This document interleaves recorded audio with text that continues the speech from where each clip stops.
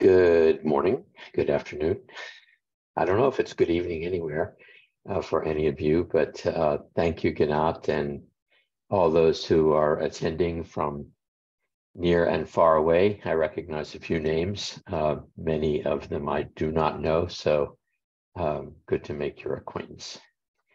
Um, I've listened to a few of the conversations, uh, tuned in kind of a little bit late to Donna's and um, of course, Norio's. Uh, and so there's a lot to talk about and a lot to share. Uh, really very special topic for me. And I wanted to kind of give you all a background piece uh, since I noticed that many of you are um, unfamiliar to me, and I expect uh, I am unfamiliar to you. So I want to talk a little bit about kind of where I came from and how I came to macrobiotics as well as came into this whole world of end of life care and death and dying.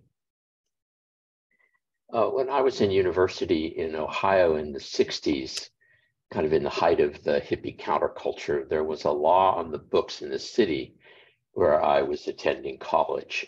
And that law said that you could be arrested for suspicion of narcotic abuse if you took someone who was overdosed uh, to the emergency room of a hospital. Uh, that was pretty drastic. So it meant that you really couldn't help people. Uh, and in those days, there were plenty of teenagers and young people on the streets uh, who were runaways and who were uh, troubled and having real challenges in their lives uh, as a result, I got together with some medical students and some docs and started one of the first free clinics in the United States.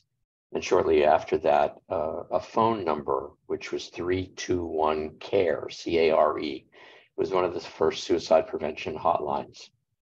Um, that meant that I became uh, kind of intimately related to people who were looking at end of life uh, through suicide or who were just completely uh, bereft of uh, any reason to live, running away from their families, uh, often contracting illnesses and um, just lost.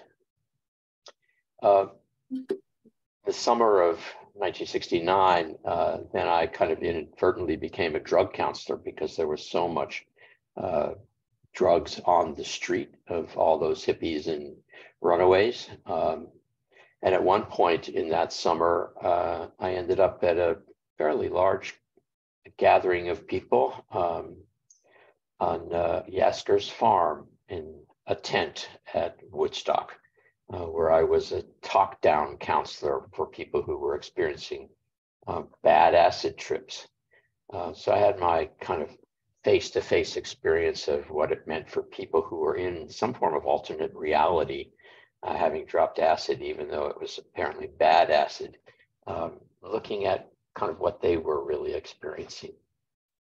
In the following spring, uh, in May, there was a profoundly moving experience for anyone who remembers May of 1970, um, as uh, a certain number of deaths occurred on the campus of Kent State University when the National Guard came out and shot uh, just killing uh, protesters uh, who were angry at the Vietnam War and the Americans' involvement in the war.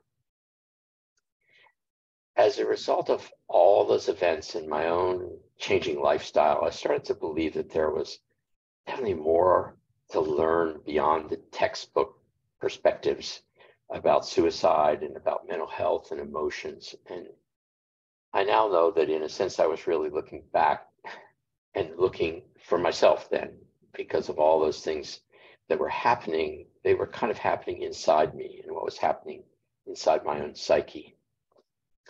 Eventually i kind of got fed up with the united states and went to denmark where after living there for almost two years um, i experienced a lot of alternate realities. I dropped a lot of acid smoked a lot of hashish took a lot of hallucinogens and kind of came face to face with this world, much of which uh, Norio came to very differently, uh, the world of duality, the world world of self, the world of uh, fiction, and realizing especially that we don't really grow up, we kind of grow down, right?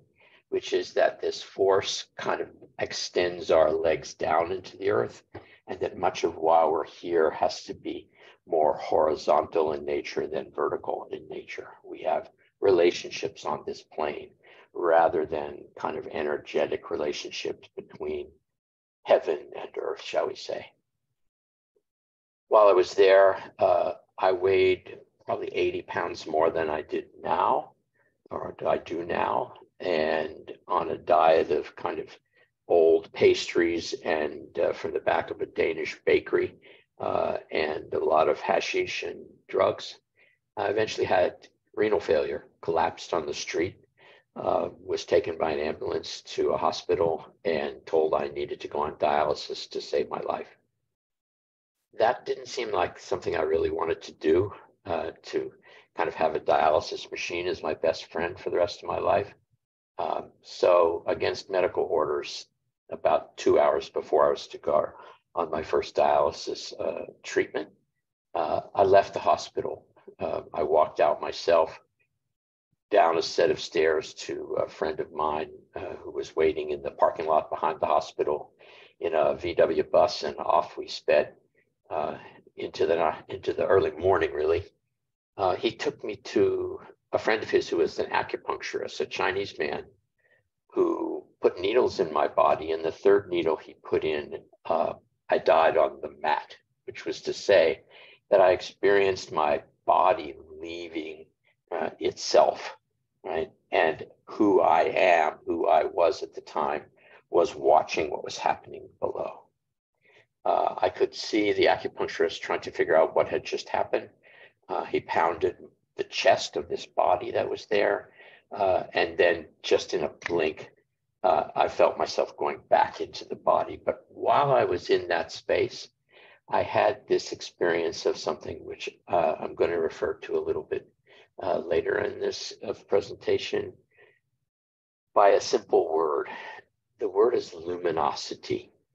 Uh, it is more than just light. It is a light much bigger than the light which might uh, might light up a room or light up a stage or light up uh, the outside of one's home or light up a football field it's an all-encompassing sense of uh, enlightenment, shall we say. But luminosity is something that often is experienced right as a person leaves their body. What the acupuncturist uh, who brought me back to life on the mat told me were three things. He said, number one, stop eating sugar. It's poison to you. Number two, don't take drugs ever again. Your body can't handle them anymore. And number three, he said, eat like Birta tells you to eat. It turned out that Birta was a student of George Ohsawa living in Copenhagen at the time. So I began to study macrobiotics. I followed those first two uh, dictates very carefully for decades, not eating sugar and not taking any drugs. Uh, and I began to study with those students of George Ohsawa living in Copenhagen. This was the early 1970s. And I soon, after a couple years, returned to the US. I had changed so much that my mother actually walked by me in the airport when I came home. I was already macrobiotic. And since then, I found a group of like minded friends in a household in an intentional community in Ohio where they, like I, embraced a kind of vegetarianism and macrobiotic principles.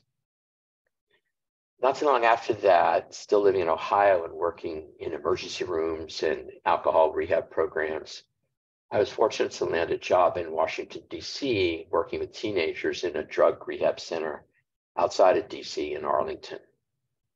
And at that time, Michael and Jean Rossoff, uh, many of you know, uh, that's now Jean Sloan, but Michael Rossoff living in Asheville to this day, uh, at that time, they had a macrobiotic center in DC. And that's when I eventually first met Michio and Aveline.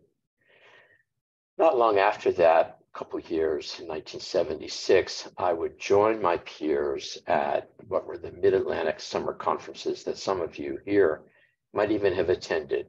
They were organized by Murray Snyder and Denny Waxman, uh, old macrobiotic teachers, both of whom have passed.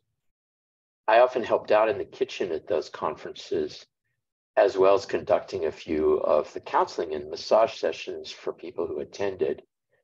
But I remember at that time I was very eager and really pushy about what I knew.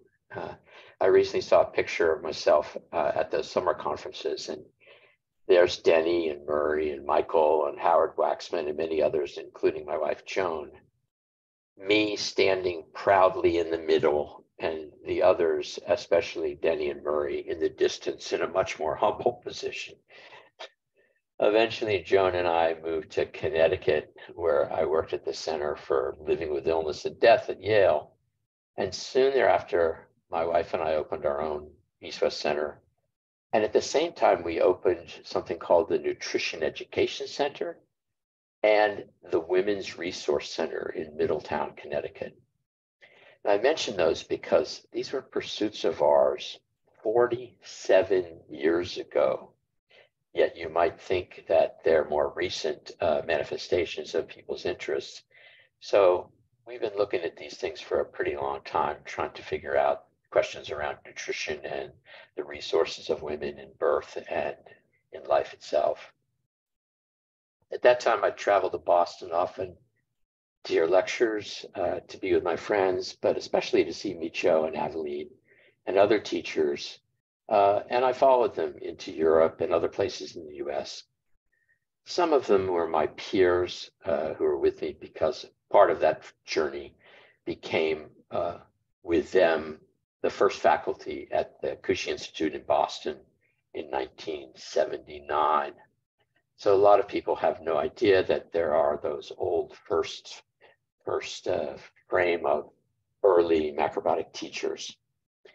I think the teachings at that time was really primarily around heaven's force and earth's force as much as anything else. And Michio was talking as much about the principles of macrobiotics as he was about food. Frankly, despite seeing many people facing life-threatening illness, I didn't really know all that much about death and dying until, as a macrobiotic counselor in the early 1980s, I began to see men who came for consultation because of a skin disease and many of them had this very severe weakened immune system. In many cases, these men's bodies were covered with dozens of lesions, something called Kaposi sarcoma. And some of the men also had pneumonias, uh, pneumocystis carinii pneumonia, and an infection in their brains called toxoplasmosis or cytomegalovirus. These were some kind of infliction that altogether was called GRID, G-R-I-D, which stand, stood for Gay Related Immune Deficiency. And it was not uncommon for the men I counseled to die only days or weeks after meeting them. And of course, this was eventually, eventually identified as human immunodeficiency virus or HIV or AIDS in 1981. At the same time, many macrobiotic counselors and teachers, particularly myself, uh, Danny Waxman, Shizuko Yamamoto, Murray Snyder, together with Dr. Martha Cottrell, who was then working at FIT, which is the Fashion Institute of Technology, helped many of those men and their friends through support groups in New York. This again was a kind of horizontal experience. That is, that the support of people, person to person, peer to peer on the plane of the earth. And so to balance it, I really needed to kind of return to the vertical, that straight line of our spinal column. And so my own reflection and deep meditation, sitting not just for 10 minutes, but often for a half hour, 40 minutes, was really helpful for me to be able to return to those kind of horizontal exchanges that I had in consultation. I observed a lot of consultations with Michio conducted, many of them in New York City and in Boston and elsewhere. One time, a man came into a consultation and he had obviously seen Michio before. He'd probably been three or four times before with a degenerative disease, which was obviously affecting his colon, and his digestion. And Michio asked him many questions about what his practice was. Was he eating too much salt? How much rice was he eating? What kind of oil was he using? Was he doing the compresses? And to all of those questions, as this ashen gray faced man leaned in and listened carefully to Michio's questions, all of those questions were answered satisfactorily. So Michio couldn't recommend anything further because it appeared as if he was really following Michio's recommendations precisely. And then Michio leaned back and he said something that I'll never forget. And as he did, it turned out I was looking at the man rather than at Michio. Michio said, kindly seek medical advice. The man just lost all of his life force. It just went right out of his body. He just looked dead. What I realized when I looked at Michio was he could have said something different, perhaps, but really not. He wanted to say, I'm sorry I can't help you, but I have to tell you to go back to a doctor. He maybe wanted to say, please come home with me to Bucky Road and I will help you at the end of your life. But he couldn't. He wanted to say, there's so much I want to tell you now, but my lawyers have cautioned me against it but he didn't. He just said, kindly seek medical advice. I'm sorry. I couldn't bear to issue such a directive because I came to learn that often that suggestion, that statement, would mean to people who practiced macrobiotics up until that point that they would go back to their doctors who would, in horror, realize what they had been doing, eating macrobiotically and not caring for themselves, having perhaps uh, gone away from Western care. And often they were then pumped full of chemicals, hospitalized, and very unfortunately die very uncomfortably, surrounded, struggling in a traumatic way. So I began to look at that time into the field of palliative care into hospice and into the many books on the end of life. I certainly didn't know anything about death and dying by this time. My own experience on the mat in Copenhagen was something that led me more to a study of life and living. Nonetheless, I had to better understand what many of the patients who had that disease that I saw in the 80s, GRID or AIDS, were facing. So I dove into that research. Some of those men, I came to realize, were passionately devout Christians. Some of them were observant Jews, and a few of them were Muslim. Nearly all of them were gay, and eventually I'd counsel women who contracted AIDS as well. Some of them died in my arms as I remained completely unafraid of being infected. I held them or sat with them by their bedside or even climbing into bed with them, holding them and breathing with them at the end of their life. Donna, I heard describe some of that breathing, but a little bit uh, from now, I'm going to talk a little bit about that breath that happens at the end of life in a different way than uh, simply explaining what the books say and go through a little exercise that we can all experience. But for now, I thought for the benefit of the various traditions that people who are seeing this presentation might practice, and in reflection of those men and women with AIDS, I just want to insert here a brief overview of the perspectives of Christianity, of Judaism, of Buddhism, Islam, and even Hinduism on the subject of death and the end of life. In Christianity, death is viewed as a transition, uh, uh, sorry, transition from earthly life to eternal life, as surely most people know.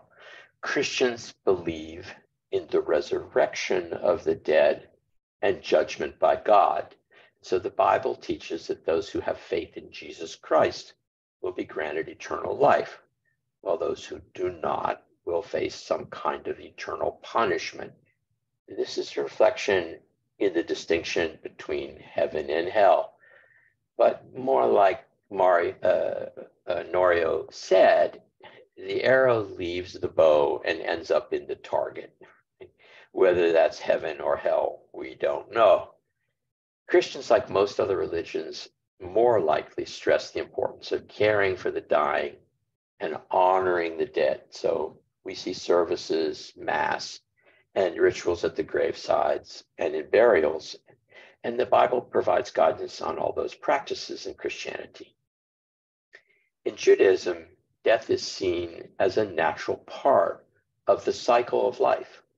And there's a strong emphasis on the importance of respect for the deceased. Jewish tradition teaches that something called the soul continues to exist after death, and that may be who we really are, and that the body that we leave should be buried as soon as possible after death. Jewish funeral customs include washing and dressing the body, reciting various prayers, and burying the body in a simple wooden casket.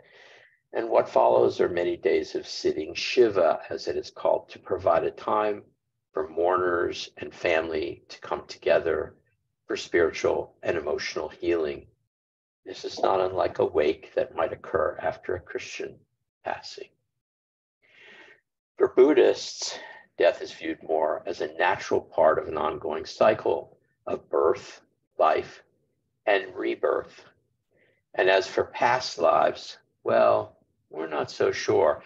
I think there's a lot of New Age mischief because of past life regressions and courses that people are teaching.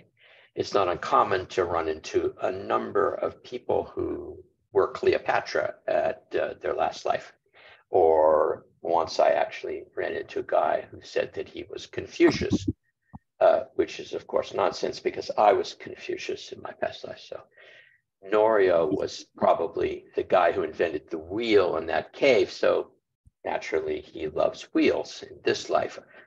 We don't really know much about uh, what happened in our past life, although some Tulkus, some Buddhists, do have a sense of what last life was about and as we see in the choosing of the Dalai Lama, it's clear that people have memories of their past lives as well. Buddhists believe in the concept of karma, which means that one's actions in this life will determine our future rebirths into the next life. But the ultimate goal of Buddhism is to achieve enlightenment and escape the cycle of rebirth.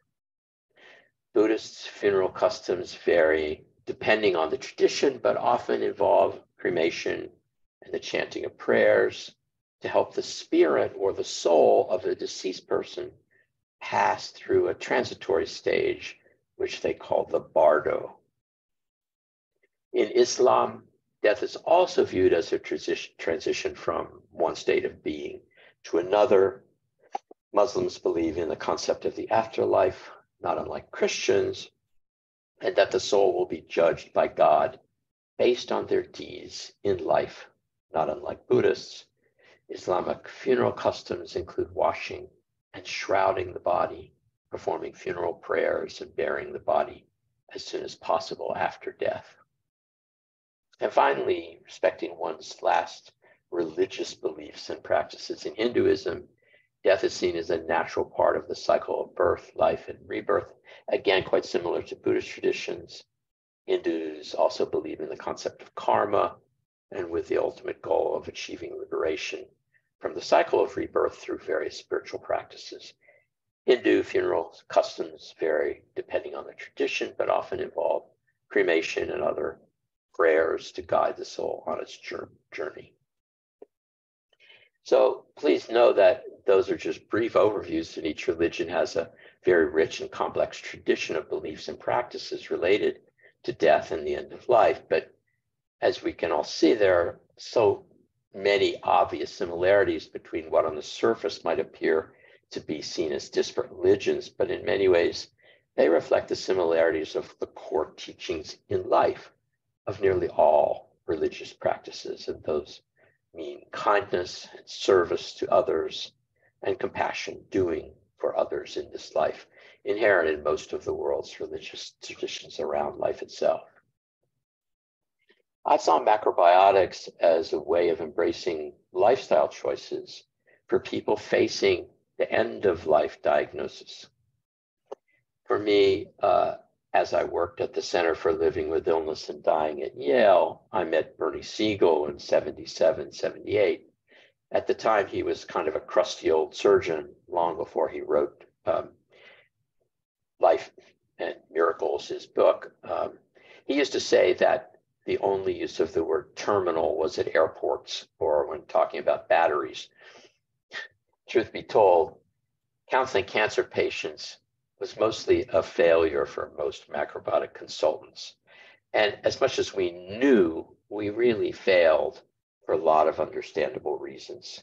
Sure, there are dozens of successes and many miraculous cures, but undoubtedly, and to be honest, there are likely 10 times more patients who couldn't heal themselves adopting a macrobiotic diet than those who we read about who did.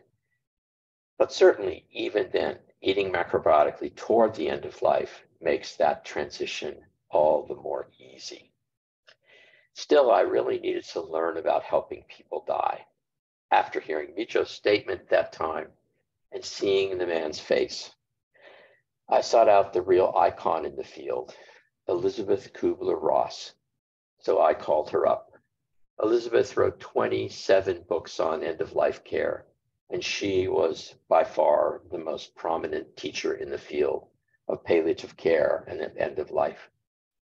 So as a macrobiotic teacher, I called her up and told her that I needed to understand how to help people die, not just help people live. During the conversation, I told her that I was a teacher and that I was teaching macrobiotics. And as a teacher, it was important for me to teach. I think I said the word teacher about 25 times just so she was clear that I wasn't just an ordinary student. I mean, I was a teacher, so I was a very important person.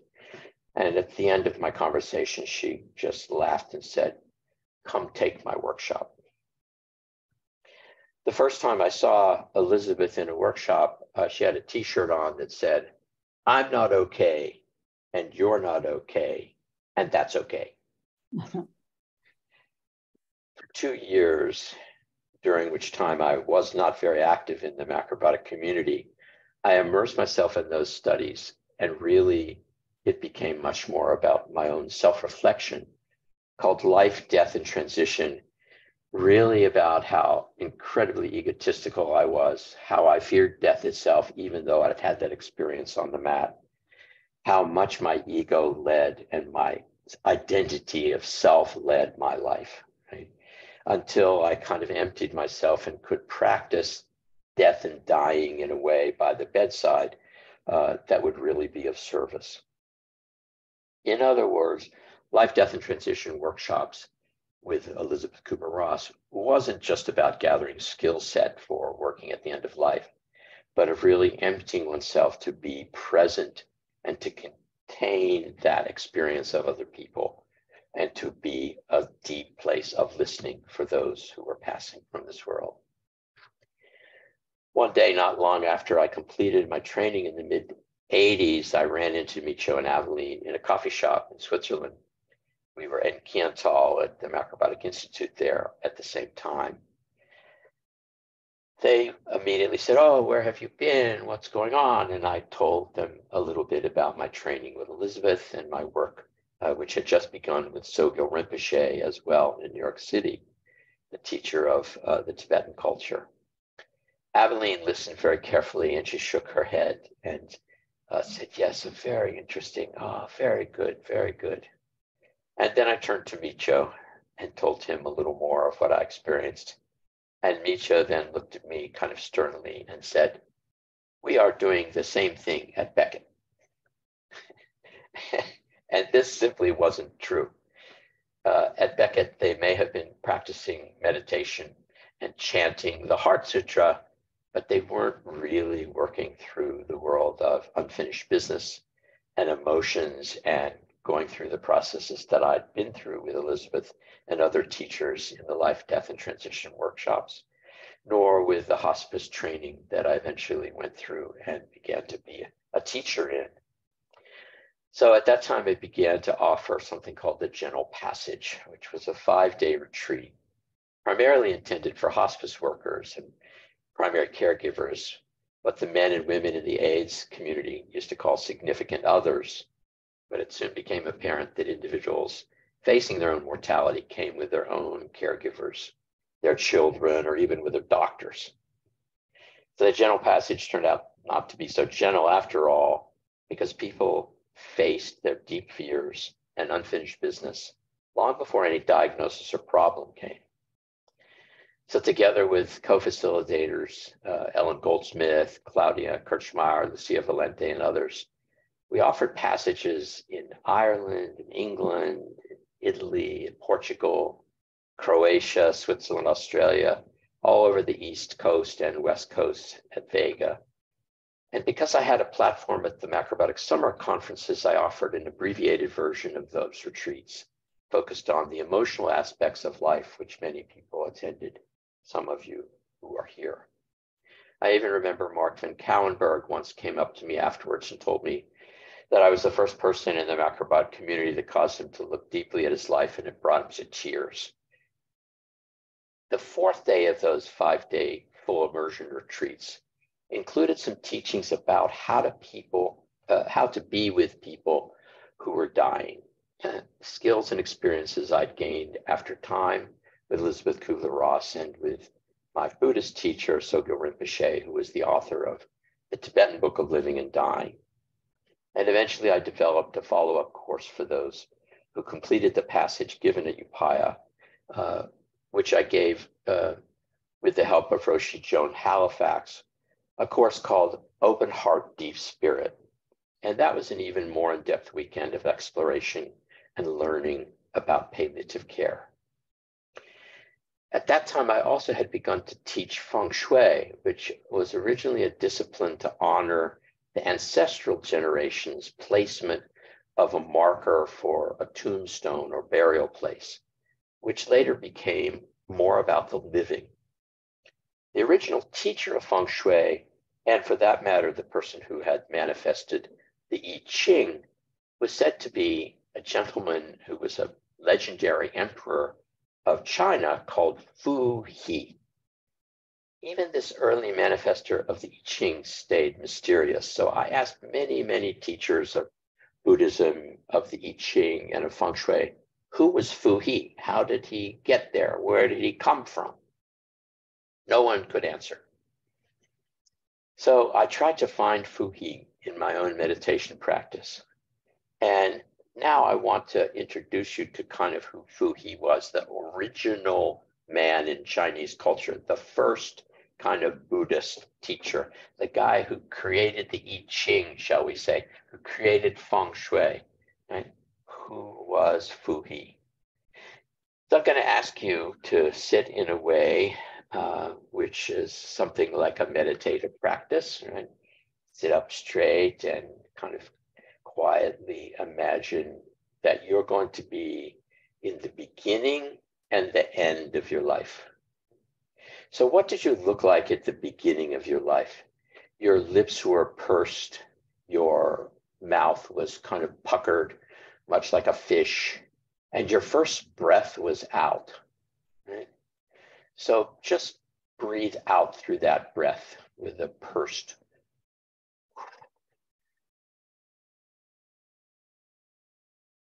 And then at the end of your life, hopefully you will be full of luminosity and you, like a Buddha, will smile and then you'll inhale is your last breath. So smile and inhale through your mouth. And now blow out through the first breath in the beginning of your life with pursed lips. And smile. Last breath. And blow out. In the beginning was the word blow, pursed lips. There goes your life. At the end of your life, smile. Last breath. First breath. In the beginning was the word. Smile. Last breath. And the word was with God. First breath. Breathe out.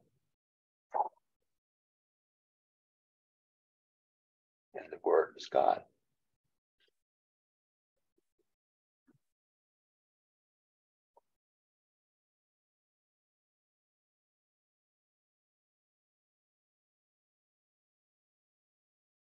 Who he was the name of God, just like it says in the Bible. In the beginning was the Word. The Word was with God, and the Word was God. And in fact, our first breath is out, and our last breath is in. Some people think our last breath is out, but that's more Hollywood.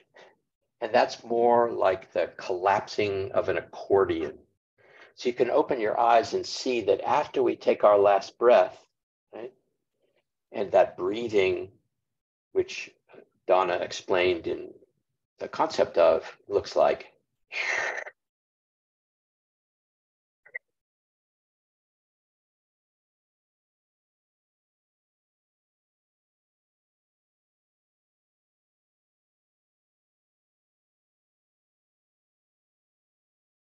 and then we leave our body. And then the accordion collapses. But we're already out of our body, connected with a thread, what was called the cord. But it is a silver thread of light. And what is that just like? Well, you were in a placenta when you were formed in your mother's womb. And when you left the placenta, that body into which you were living and born and formed stays attached to you through your umbilical cord, a cord. Hmm. And life pulses through that cord into your body until that pulsing finally stops and then the cord is cut. And just like in death, as in birth, the placenta then gets born and people have to figure out what to do with it. What do we do with the placenta? Should we bury it? Maybe we'll put it in a box and bury it. Or should we burn it? Maybe we'll just put it into the fire? Or should we take it to the mountaintop and chop it up, as some cultures do, so it can be eaten? Or should we serve it and eat it, as some cultures actually do? But eventually, that placenta is detached from the body which we live in. Just like at death, when we die, this body, our placenta, is attached to who we are through this cord, this silver thread, which pulses life and stays above until that pulse pulls away and then dissolves and thins and evaporates. One such teaching that I still find to be fascinating is the Buddhist belief that we're born with two drops of blood in our body one from the mother's egg and one from the father's sperm. Of course, you know if you see a fertile egg, you see there's a drop of blood in a fertile egg. There's also that drop of blood in a sperm, microscopic, submicroscopic. We can't even see it. Uh, I often say that, uh, ask, you know, why you think it takes a million sperm to fertilize just one egg. That's because none of them will ask for directions. All of our thinking, though, is funneled through this one drop that we carry from our Father from heaven's force downward. while all of Earth's matter's rising in pattern is filtered through the drop received from our mother. These are the two drops of blood which form the anodes of a battery. That's what gives us the charge of heaven and earth's force. That's our life's force, our fully charged battery. The drop at the top is located in our third eye. The one at the bottom is located in the hara. These two are like that battery, fully charged, and as they lose their life force, they're being used up like a battery, slowly weakening. And that means their positional polarity diminishes. So the chakras don't just disappear, they slowly, slowly become less highly charged until eventually they move from the hara upward, from the third eye downward. They pass through the stomach above the hara, they pass through the throat below the third eye, and eventually those two opposite poles touch in the heart.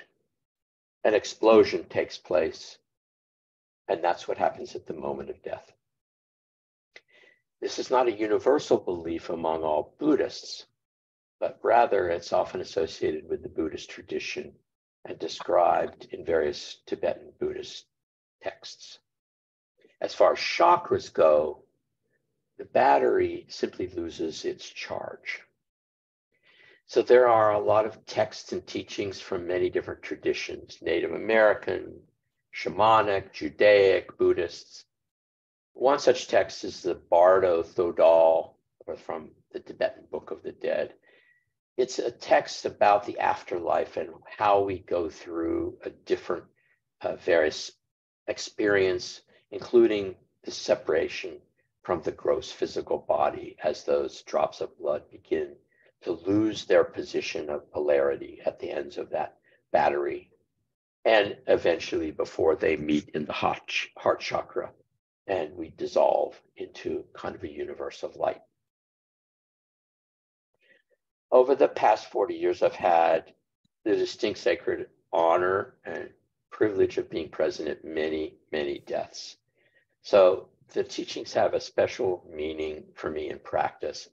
As a macrobiotic counselor, I wanted to be able to offer some guidance and support, not only in birth and throughout life, but also as we near its end and in the moments of active dying. So there are stages or phases that occur as the body and mind undergo dissolution. They're different than the stages of the physical body losing its force than Donna explained in her talk. They're, sta- they're called in Buddhist tradition the five stages of death or the five stages of dissolution. And they are the dissolution of our senses. Uh, and as we've studied in macrobiotics, of course, this adheres to and aligns with the five elements. The stage of Earth is one of solidification, and in it, this earth energy dissolves and our body becomes heavy and immobile. So the person who's dying finds it more difficult to lift their arms or lift their legs. Their body simply becomes really solidified. The second stage is one of water or liquefaction that the Buddhists describe. And when that is the element of water dissolving, the body actually cools off and becomes kind of fluid it moves from a solid state into a fluid state as if there's a kind of floating energy throughout. And with it, we begin to lose our control of water. We might drool, we might have a runny nose, we might lose bowel or urine uh, control. The third stage of life was related to fire. Uh, as we go away from our living and toward our dying, moment and in that stage, fire dissolves and the body starts to become hot and dry in order to try to stay alive involuntarily. Uh, and as such, our mouth dries out, right? And our eyes start to become burning even. We may feel some sense of heat rising in the body as the lower part of the body becomes cooler and heavy. The fourth stage of life, the Buddhists call the evaporation stage or the stage of air.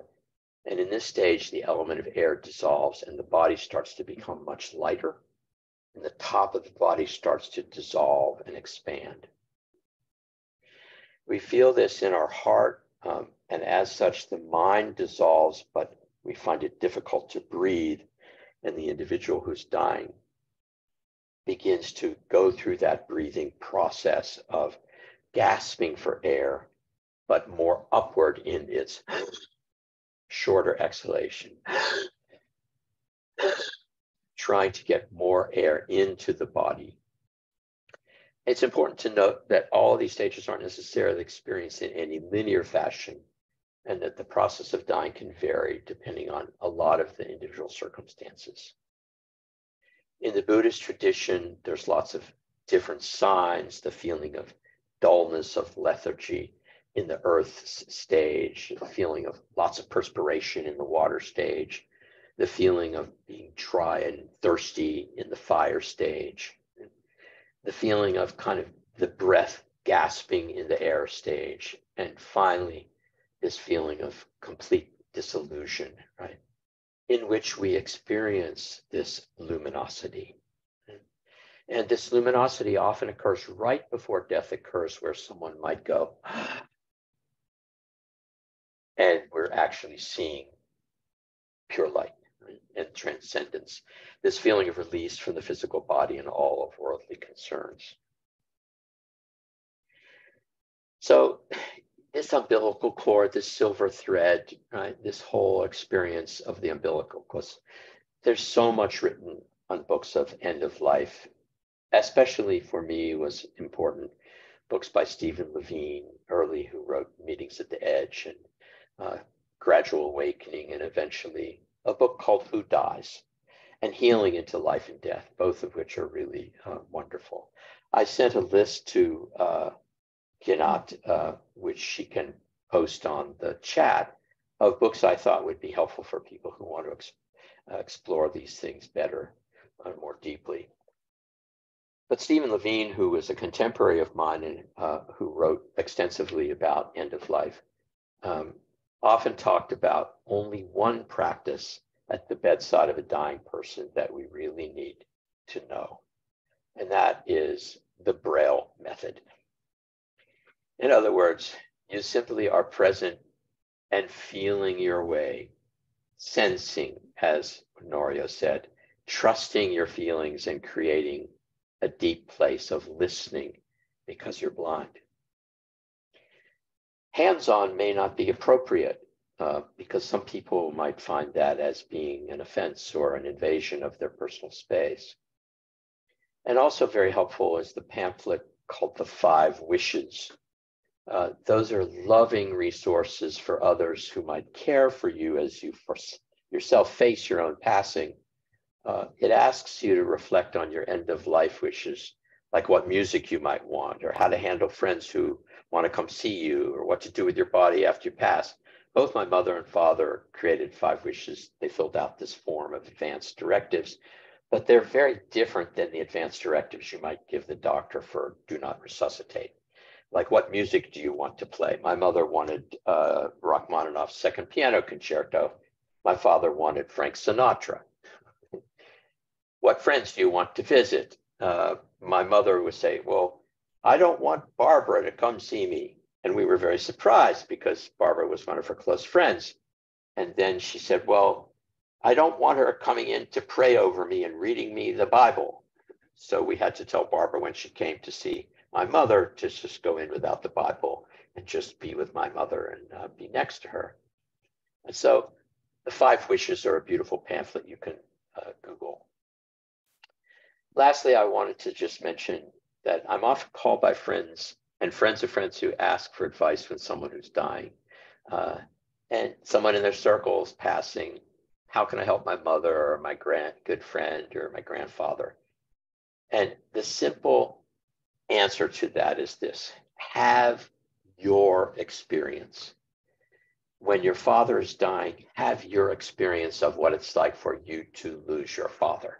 Don't have your father's experience, or don't try to have your friend's experience because it's the only time in your life when your father will die or when your grandmother will pass or when this deep, deep, close friend of yours is dying. What is it like for you? So if that brings you to tears or if you're scared, have that experience and don't leave that experience, uh, step away from it to be in the person's experience at all. Sogyal Rinpoche said, uh, and someone that I studied with in depth and was able to work closely with him around people who are dying. Whatever you think death is, whatever you've read, whatever you were taught, whatever study you have engaged in, whatever practices you are undergoing, however you view death, that's not what death is. because Sogyal basically said, we don't know. So I am leaving a little bit of time for some questions or from some exchange and um, have enjoyed uh, sharing my own presentation and listening to Donna and of course of Norio and look forward to hearing others present in the few hours ahead. Thanks. Thank you. Thank you. Thank you so much. So, do we have any questions, comments, discussion? You can open up your microphones. You don't have to wait for me to allow you. And Mike? Bill, how do you deal with the fears that people have when they're dying? What do you do? Uh, to acknowledge fear is to, uh, in, said in another way, not deny someone their own feelings. Uh, in other words, when a child comes to you in the middle of the night and says, I'm scared, probably the stupidest thing for you to say is, don't be scared. because, a, because a child would, in an adult voice, respond to you, uh, but I'm already scared. right? So it's too late to say, don't be scared.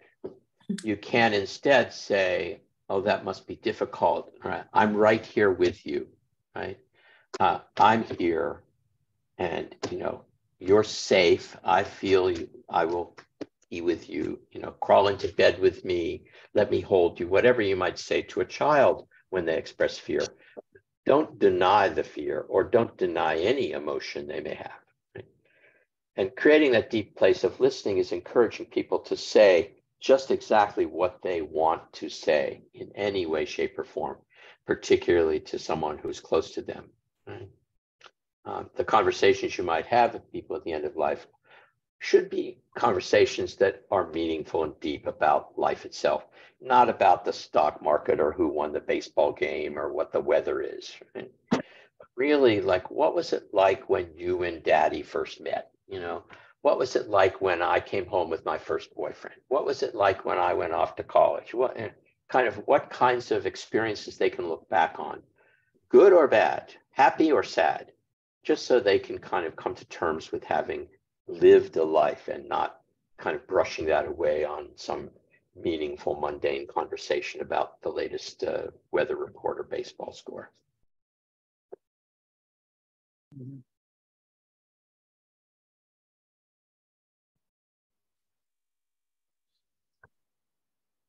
another another great great presentation, Bill. Thank you very much. Thank you. And and uh, it goes very very well with uh, with uh, Norio's uh, together like that for, for us to consider. This is a very very heavy duty uh, program that uh, Ginat's put together. You know, uh, for for me, it uh, the, the piece of what Norio uh, put forward, I, I will say that there's a kind of a distinction. Um, and that is that uh, I would consider myself ultimately to be a student more of his uh, father and of his father's teacher, George Ohsawa, uh, in the following way. Um, taught, and for me, I took away two teachings more than any. The first was play. That this is a game. this is play. That's what we get to do. That we shouldn't uh, give it up just because we somehow grew up at uh, age 4, 6, 10, 15, 27, whatever. That we continue to play and we play on this earth, that the whole earth is our playground. And so much of what I've done in the disaster work is create play shops for kids around helping them to release stagnant emotions after impact of heavy traumas. But the second thing that I learned from Michio after traveling so closely with him and asking him in kind of a happy moment of like, wow, this is all there is. You're just like, you're active and you eat well and what else? And what he said to me was, one more thing, give it all away and make sure it's useful. And so there's a certain aspect of play which is non action, which is just being. And that's a kind of Taoist uh, energy, which I highly respect of people who just sit and be and things happen. Mm-hmm. But for me, I'm not a sit and being kind of guy. I'm a playing, doing, serving kind of guy. So my play is to make it useful to people and to give it away mm-hmm. and to make a difference in the world in that way of service. Because I believe that the tradition of life of my own religious teachings and my own spiritual practices compel me to be of service, compel me to do something, compel me almost out of an obligation of making a difference in the world, not simply to sit, but to be active in the world. And so I'm not so content to simply go whatever happens, right? Uh, and to rather play and give it away and make a difference. And and that that you, you figure comes from your background. That that uh, incentive. Well, you know, I didn't realize where it came from until my grandfather died, until and he died at 91, having never been sick a day in his life. But it was nine years later, on the occasion of his 100th birthday, when my mother sent me a eulogy that she and her sister wrote I could not possibly have attended that because I was teaching in Switzerland at the time. But my six other first cousins, descendants of my grandfather, gathered uh, for my grandfather's 100th birthday. And I found out something I didn't know about my grandfather because they had kept it a secret his whole life. And that was very much in the spirit of Maimonides. He had quietly been enormously philanthropic he had brought Jews from Germany to the United States, paid for their houses, helped their children get jobs, put their kids through colleges. He never told anyone about the things that he did in his lifetime and in another lifetime. He kept it quiet and he was enormously impactful in life. But as the highest level of the code of charity of Maimonides, who became one of my great scholarly teachers, uh, he did it as a way of living. So I realized that I kind of had that in my genetics. And when I looked at my mother's life, I realized, oh my God, she did the same thing. Right? And she never told anyone. And she came, uh, she used to call herself as a professional volunteer. and, she, did amazing things. Um, so I feel obliged and compelled to kind of make a difference and to do what I can but not because I want the recognition. In fact, um, I do a lot so that I stay under the radar, try to hide and turn down the invitations that Alex Jack and Sandy Pukel keep making to join the cruise or to attend the summer conference. I, thanks, I'm doing something else right now. And well, Ginat will tell you, she asked me. I feel she asked me. You accepted my invitation. Thank you. That's right. she asked me many times, and I no, I'm not now, not this time. So this this subject, um, I thought I wanted to be a part of. No, I'm, I'm, I'm glad that you you clarified that, Bill, because it's that's the way that it sounded to me. You know, the the rectification of the universe is a formal doctrine, and uh, uh, under the title of uh, Tikkun uh, Olam.